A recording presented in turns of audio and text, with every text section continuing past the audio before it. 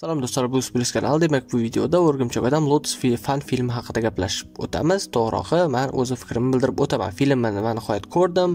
Bu 1-2 yil ichida film zo'rg'a chiqdi va nihoyat chiqdi deb o'ylayman. Shuncha skandal, ya'ni shuncha konfliktlardan so'ng, muammolardan so'ng men nihoyat film ko'rishga muvaffaq bo'ldim va filmda bo'lgan впечатлениyalarni aytib o'taman. Ya'ni menga yoqdimi, yo'qmi, qanaqa emotsiyalar bo'ldi menda. Albatta bu videoda bilib olasiz. Demak, boshlaymiz. Demak e, birinchi nimadan boshlashni ham bilmayman to'g'rirog'i birinchi bo'lib boshlaydigan bo'lsam filmni byudjetiga kelamiz. Film byudjeti o'z aslida yuz ming dollar ya'ni donatlar tomonidan yig'ilgan bir xil youtuberlar ham aytdiki ya'ni cubayt ming dollar berdim donat qildim ya'ni aytmoqchi va uni nomi titrlarda ham bor ya'ni.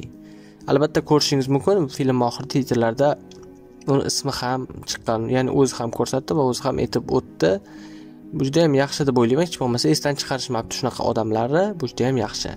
Demak film o'ziga keladigan bo'lsak byudjet aytgandek ну sidap e, serialni flash filmini ya'ni serialni uzr birinchi qismini to'g'rog'i bitta qismini byudjetida gap desam ham bo'ladi bilaman u yerda sidapda ham unaqa grafika zo'r emas bu yerda ham shunaqa. Ну grafika bu yerda sal sifatliroq flash filmidan keyin albatta. Ya'ni flash filmida grafika bilasizlar qanaqa u yerda qancha studiya ishlagan lekin grafika bu yerda ancha yaxshi ya'ni fanatl tomonidan ishlangan filmdan ancha yaxshi deb o'ylayman. Ya'ni flash film agar yoqqan bo'lsa agar kimdir pretenziya qilish niyati bo'lsa albatta bilmadim hech qanaqa negativ yozishlarni xohlamayman. Mayli o'zinglar bilasizlar shunchaki aytmoqchimanki bu fakt shunchaki aytmoqchiman. Fanatlar yaxshiroq ishlagan deb o'ylayman.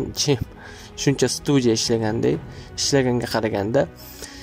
Film o'zi ikkita komiksdan asoslanib qilingan. Bu bittasi o'rgimchak odam qayg'u ya'ni человек по грусть bittasi amazing fantasyni qaysidir sonidan olingan? U yerda chim nom e, ismli bolakay o'rgimchak odam muxlisi bo'ladi va uni vaqti chegaralangan bo'ladi desam ham bo'ladi. Ya'ni umri e, oz qolgan bo'ladi va o'shaning uchun o'rgimchak odamga xat yozadi va bu kinoadaptatsiya qilishga harakat qilishgan. Buni bu judayam yaxshi chiqqan deb o'ylayman.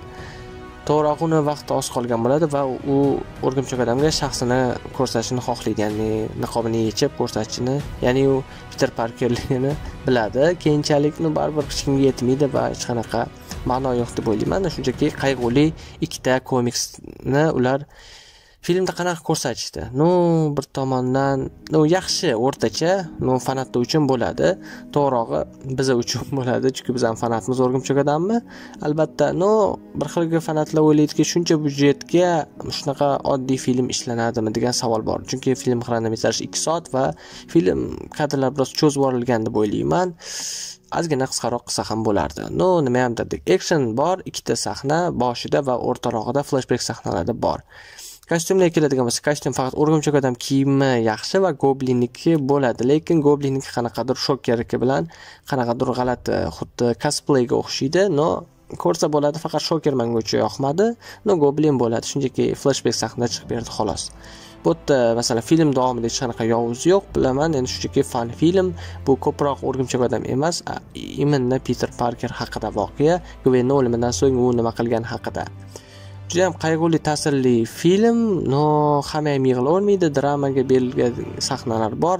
Bitta ikkita uchta adashmasam uzr uchta mayli uchta deylik. Chunki masalan hammasini ham aytmayman qaysi joylarida shunchaki bola bilan xayrlashayotgan paytda o'sha tim e, ismli va uni oyisi gapirgan paytda chunki rostdan ham aktrisa yaxshi o'ynagan aktyorlik mahorati keladigan bo'lsak o'shani aytmoqchi edim. Aktyorlik mahorati bo'ladi o'rtacha fan film uchun bo'ladi deb o'ylayman. Peter parker gari osborn o'zini rollarini yaxshi chiqarib berishgan gven stesi emri no meri jeyn bilmadim.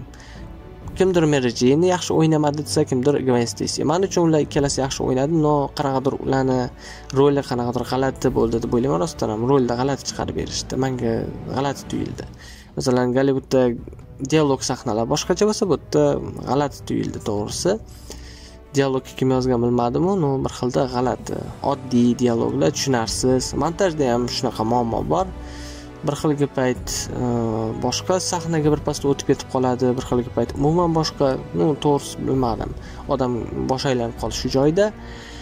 Vizual vizual yaxshi. Bunaqa byudjet uchun yomon emas. Bir xilgi payt rostdan ham kino deb o'ylaydi odam. Rostdan ham lokatsiyalar hammasi lokatsiyalar hammasi u joyda olingan hech qanaqa yashil yashil fon qilinmagan hammasi o'z joyida olingan. Shunga yarasha respekt deb o'ylayman aytganimdek aktyorlar yaxshi o'ynagan ну garini liniyasi bor bu yerda meri jeynni piter parker liniyasi bor hammasi yaxshi chiqarib berilgan. O'rgimchak odam uchishlari yaxshi uchgan sahnalari yoqdi manga. Fight no action o'rtacha. Ну hammaga ham yoqavermaydi deb o'ylayman ну bir xilda oddiy ko'rinadi bir xilgalarga ну yaxshi. Ну ko'rsa bo'ladigan film. Sakkiz ball qo'ydim. Mani fikrim shu edi. Albatta ну nimadir qolib ketgan bo'lishi mumkin. Albatta hozircha shunchaki emotsiya emotsiyadan keyin aytyapman bu narsani. Balkim sequel chiqar qachondir ham. O'zi geven j. Konor ya'ni rejissyor filmni shunaqa e, uni plani bor edi. Uchta trilogiya qilmoqchi edi uchta film. Shunaqa uni g'oyasi bor edi bilmadim ko'ramiz balkim film agar ko'pchilikka yoqsa. Chunki negativlar ham bo'ldi. Shuncha pulga shunaqa oddiy oldinglar man bir million marta zo'r qilardim undan ham ya'ni bilmadim shunaqa yozganlar ham bo'ldi kommentariyada но har holda man yaxshi chiqdi deb o'ylayman aytganimdek sakkiz ball qo'ydim. Eng sifatli fan filmlardan biri. Saundtrekka keladigan bo'lsa saundtrek ham yaxshi. Original saundtreklar ham bor ozgina ishlatilgan ya'ni original bo'lmagan saundtreklar ham bor ya'ni ular o'zlari yozishmagan shunchaki musiqalardan olib qo'yishgan. Lekin filmga bu mos kelgan. Albatta olti yetti sakkiz yil oldingi fil e, saundtreklar но hozirda ham eshitsa bo'ladigan. Albatta film originalini e, ostida qoldiraman va saundtreklarni ham ссылка ostida qoldirishga harakat qilaman. Yoki vk profilimga tashlashim mumkin. Albatta o'shaning uchun obuna bo'lishni unutmang e, boshqa videolarni o'tkazib yubormaslik uchun. Kommentariyada yozib qoldiring o'zingiz fikringiz video haqida va film sizga yoqdimi? Albatta kommentariyada yozib qoldiring. O'zingiz asrang xayr salomat bo'ling.